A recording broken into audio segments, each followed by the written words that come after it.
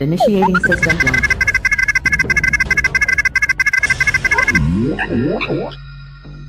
Greetings, brothers and sisters. Due to tremendous support of Project Mayhem 2012 from you, the people, we would like to present to you the game plan.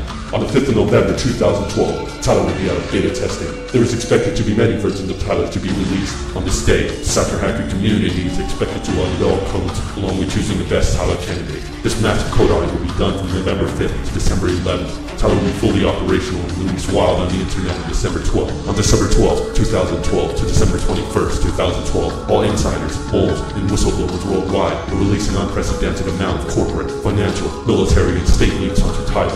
We ask all occupying citizens to organize massive flash mobs to occupy their city halls, financial districts, banks, parks, or any of their choosing, every day at 11:11 a.m. and 11:11 p.m. for just one minute. This will ensure there is no unnecessary confrontation. All this leading up to a massive party to occupy parliaments worldwide on 12/21/2012.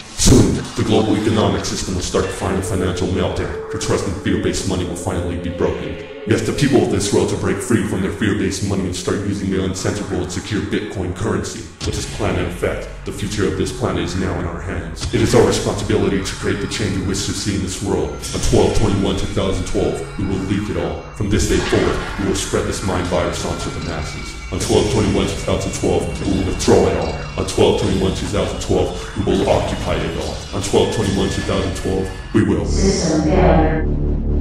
System failure. Knows. Baby Tyler knows.